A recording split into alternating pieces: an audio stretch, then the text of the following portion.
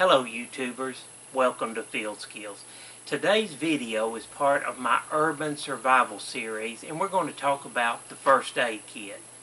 And the first aid kit reminding ourselves that it is a key component to core need number one which is our health and safety. Being able to take care of our physical needs, physical injuries we may have in a survival situation when I think about the items that I've selected to go into my first aid kit, my vehicle first aid kit, I use my survival item checklist that I talked about in a previous video. And that survival item checklist for first aid items is broken into four basic categories or subsections in there. Infection prevention items that would go in here to protect me uh, from any infections bandages and splints being the second group of items that go in there. Thirdly is medical equipment, tools that I may need uh, in administering first aid to an individual. And then fourth is medications that would be a part of treating uh, a patient. In any first aid kit, we have to be reminded that there's a strong possibility in a situation we may be the first responder to get on the scene to help someone else or help ourselves in that case. And having the items we need with us can be critical to uh, to our protection, our safety, and treating ourselves in those situations. When we think about first aid, and administering first aid, whether it's to ourselves or someone else that we may be the first responder to reach, we need to remind ourselves of the priorities of first aid, which are the six B's uh, of first aid. And those six B's include number one, breathing, uh, taking care, making sure a patient is breathing. Number two is bleeding. Thirdly is bones and joints, broken bone, of bones or sprained joints. Fourth is bites and stings. Fifth, burns and abrasions. And six is blisters and pains, as I have defined these there. And the key is being able to treat these type of injuries, these type of circumstances, and having the knowledge, the skills, and the resources to do that, which is part of our triangle of survivability knowing what you need to do, knowing how to do it, and having what you need to do in a first aid or first responder situation. Okay, breaking down this first aid kit, it's in three different compartments, and those compartments are focused on three different areas of uh, first aid. First of all, there's trauma especially focused on the breathing and the bleeding situations that we may face or run up on out there.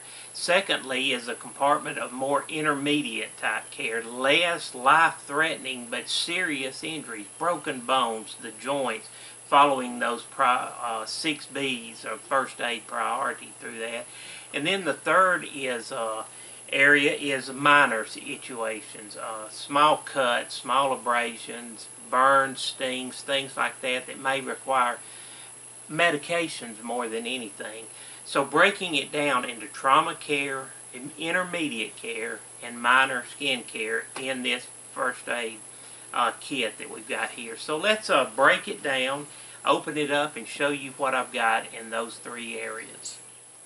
Okay, let's break down my Voodoo Tactical First Aid Kit. And as you can see, I've ordered it in the red. And on the outside, I've got my first aid cal uh, patch. But the red just uh, shows that it is for first aid. Easily uh, able to identify, find it in the car. Uh, if you come up on a wreck and uh, you get out and see there's triage, someone's there, say, go get the red bag in the back of my truck, in the trunk of my car, whatever it may be. So I like having it in red. But let's break it down into the areas. And this bag breaks down into three separate compartments, as you can see here. Now, looking on the outside and talking about our uh, trauma situations and our six B's of, uh, uh, of first aid priorities. Number one is breathing. And so as you can see here, I've got a couple of these uh, Rescue First uh, CPR masks uh, that come in the little pouches, and I've got them hooked on the zippers here. So if we need to uh, administer CPR, mouth-to-mouth -mouth resuscitation, uh, this is uh, got some protection, personal protection for me and for the patient that we're working on. And using these uh, mouth-to-mouth -mouth CPR uh, involves the triangle of survivability having skills, knowledge, skills, and resources, knowing how to administer CPR, and being trained the skills on how to administer uh, CPR is important. And uh, it's very easy to go out and get your CPR training. And I highly re highly recommend that everyone gets that. But I've got that on the outside.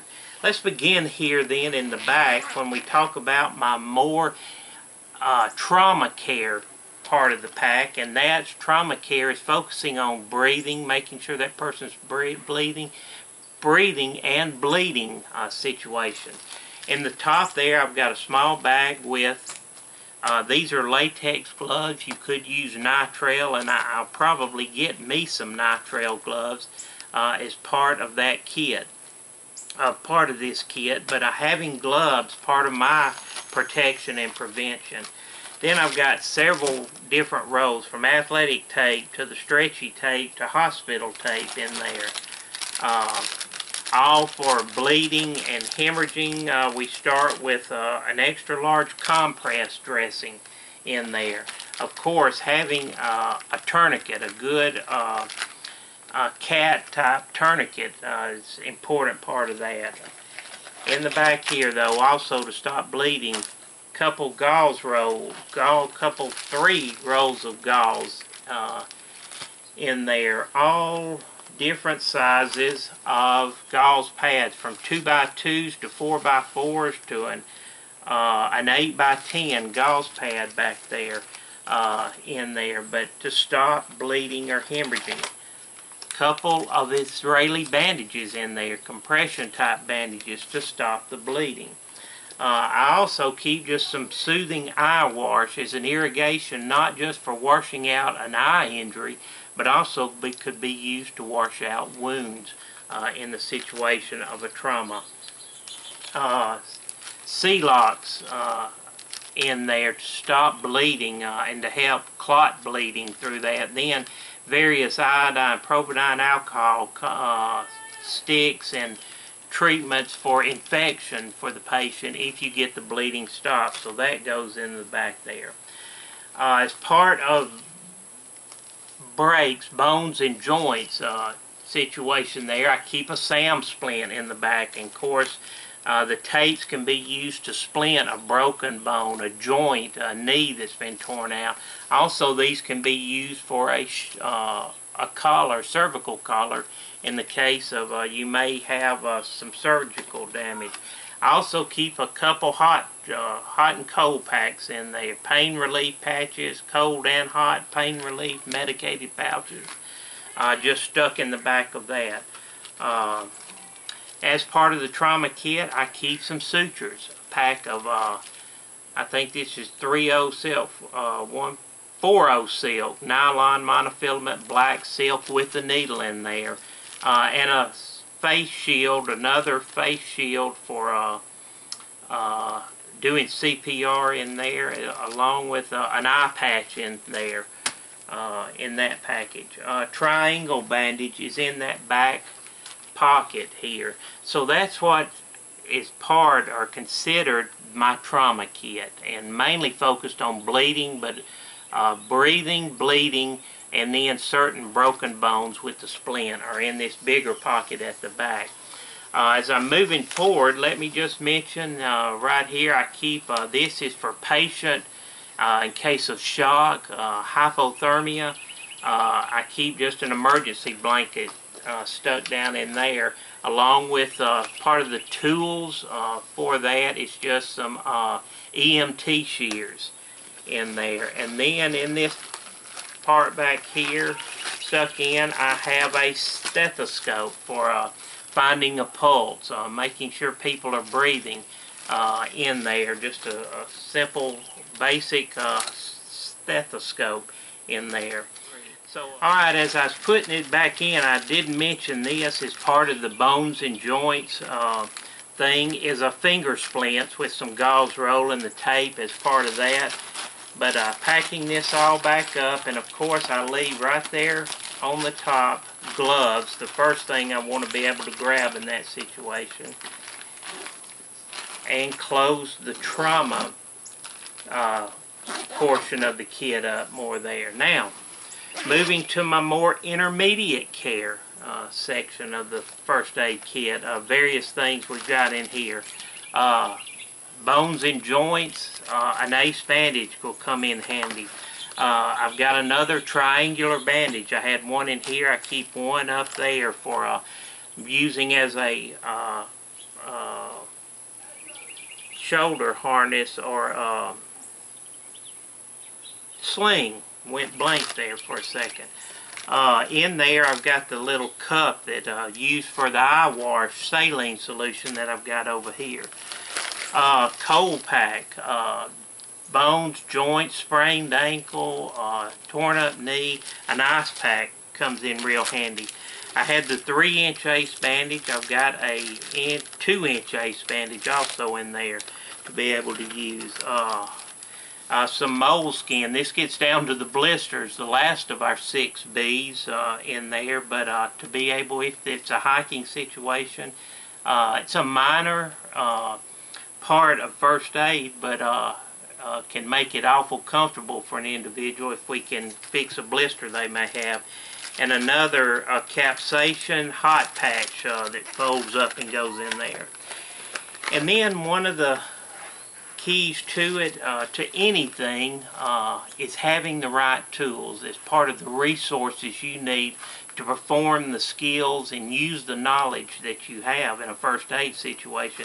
So I've got a small pack here with some, some hemostats, some forceps, uh, scissors. Of course, I've got the uh, scissors with my, uh, my EMT scissors in there.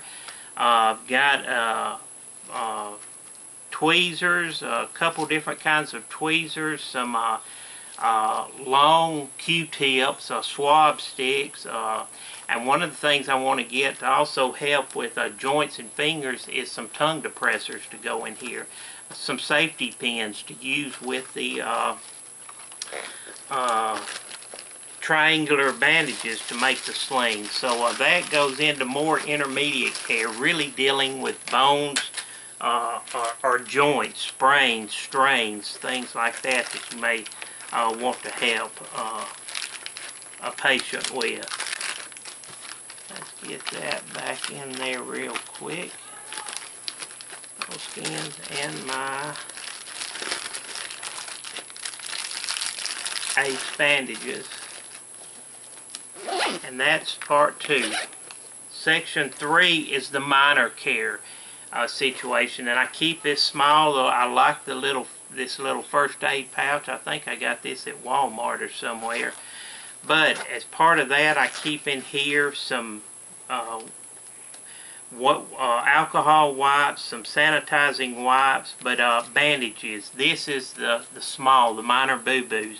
Uh, various band-aid type items in there to uh, treat just the small cuts and all. And you can grab that out, and this will be most of the times what you'll use the most out of there is grabbing the, the small things to fix a small cut or scrape through there. What else do we have in here? Uh, some more saline uh, solution can be in there. Here's some extra medicine, a, a small tube of Advil, uh, sanitizing hand wipe uh, wash in there. I keep laying in there uh, a big lighter is always good to have that with you somewhere. Uh, and some extra strength uh, pain reliever, acetaminophen is what that is, a tube of that that I have. Back over here I've got some other things, a tooth repair kit I picked up uh, in this bag, instant oral pain relief, uh, uh, Burt's Bees Lip Balm. Uh, crazy glue can go back to part of the minor or a more intermediate cut uh, uh, or laceration can be fixed with a little crazy glue. A tube of antibiotic cream and some uh, nighttime eye lubricant. Somebody gets something in the eyes, this can be very helpful to uh, moisten that eye and, and protect it. Uh, we keep, uh, these are the ointments pack in these uh, small Ziploc uh, snack packs, uh, but it's insect cream, uh, hydrocortisone creams in here, little burn cream, sunscreen, insect repellent, burn gel, uh, those type ointment medications that we might need. And then in here is the small individual package uh, acetaminophen, ibuprofen, uh, for uh, dimode, uh, sinus and cold medicine, anti antacids, along with I keep a couple of water purification, Aquamira water purification tablets in there. Can be uh, come in useful to uh, purify water, just have handy there. And then here is the uh, alcohol swabs, uh, quick cleans, uh, antiseptic hand wipes, things like that that you might need, all in this minor care kit. And then I keep in the bottom here uh, a Sharpie. If you use a tourniquet, uh, back up here in the in the trauma kit, and you had to put a tourniquet, it's always recommended to write the time on the forehead or, or near where it was of the patient of when that tourniquet was put on so that when they reach uh, medical attention at the hospital, the emergency room, they'll know how long that splint has been on. So it's good to have a mark, a Sharpie for a lot of different things. A syringe in there for drawing off fluids if you may be. And then just a tube of Sting-Eeze uh, additional there. And uh, these are some more uh, felt pads uh, for blisters. And um, so as you see, this first aid kit is, is not a hospital, but it has a lot of things to treat all of our major first aid priorities.